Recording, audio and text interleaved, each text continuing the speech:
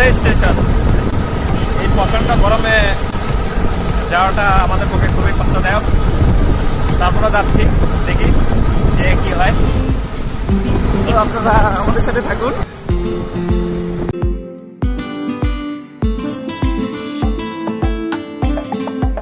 তো আমরা চলে আসছি Bangabandhu hi tech city station.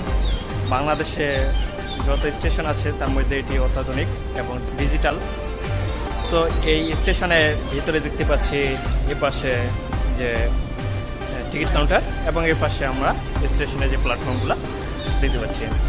So এরপরও যে ডিটেলস আমি আপনাদেরকে দেখাবো। সো আপনারা সাথে থাকুন আমার। সো লেটস গো তো দেখতে পাচ্ছি বিশাল বিশাল দুইটা ফ্লাইওভার ব্রিজ। তো এই রোড চলে যাবে টাঙ্গাইল মির্জাপুর এবং এ পাশে সামনে চলে যাবে হচ্ছে আপনার চান্দুরায় এ পাশে দেখতে পাচ্ছি স্টেশন। তো আপনারা যদি স্টেশনে আসেন, তো এই মামার দোকানে ঠান্ডা পানি এবং বিস্কুট খেতে পারেন। তো আমরা খেলাম। তো এখন আমরা ঠান্ডাতে গিয়ে একটু কিছুক্ষণ রেস্ট নিব। তো মামা, ঠিক আছে? থেকে আমরা রেল স্টেশনে ঢুকে পড়ছি। সেখানে দেখতে পাচ্ছি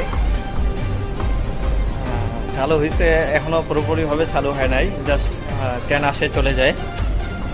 তো আমরা এখানে ভিতরে গিয়ে দেখতে পারি।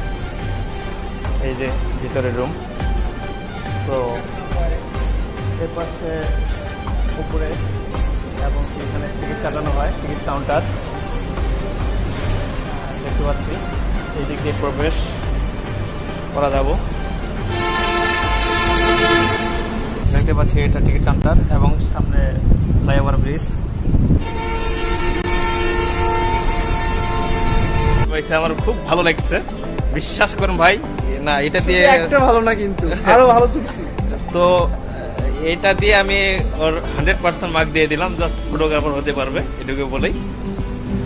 বিশ্বাস করেন এই স্টেশনটা আমার খুবই ভালো লাগছে এবং খুবই সুন্দর একটা স্টেশন বাংলাদেশে। তার তার বিষয়ে কিছু বলেন। কার জন্য আসছি অবশ্যই আমার। ও আচ্ছা আচ্ছা। আসি হচ্ছে রকি। তার জন্যই আসা। আমি জানি না ঠিক এটা স্টেশন। তো সে বলল তার জন্যই আসা হয়েছে। আর অবশ্যই আপনারাও আসবেন। মানে পরিবেশটা অনেক সুন্দর। আসলে আমরা মানে এমন সময় আসছি এখানে কেউ নেই। আর আমরা যদি চারটা বা পাঁচটার দিকে আসতাম তো মানে অনেক লোকজন থাকতো। অনেক ভালো লাগতো। ভাই ক্লান্ত হয়ে গেলাম। ঘুরে ঘুরে চারদিকে। থেকে ডাইরেক্ট আমরা সোজা ঠাউরগা চলে যেতে পারব। দিনাজপুর হয়ে পীরগঞ্জ পীরগঞ্জের পর ঠাউরগা যেতে পারব। তো বন্ধুরা আজকে পর্যন্তই। ভিডিওটি ভালো লেগে থাকলে ভিডিওটিতে অবশ্যই একটি লাইক দিবেন সে সাথে কমেন্ট করে জানাবেন আপনার মতামত।